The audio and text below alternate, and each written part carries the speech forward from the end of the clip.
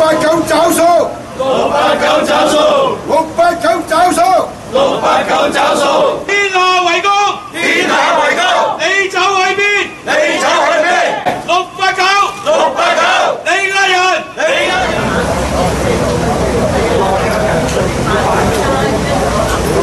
今次提出嘅司法覆核申請係挑戰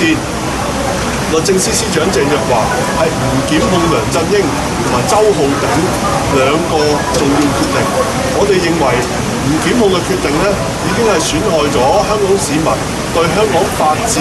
嘅信心同埋香港廉潔嘅形象。為咗令件案唔可以不了了之，同埋捍衛翻香港嘅法治同埋廉潔，我哋天下為公係會全力支援曾建成先生阿牛哥係提出今次嘅司法覆核申請。我哋已經係揾咗誒一位香港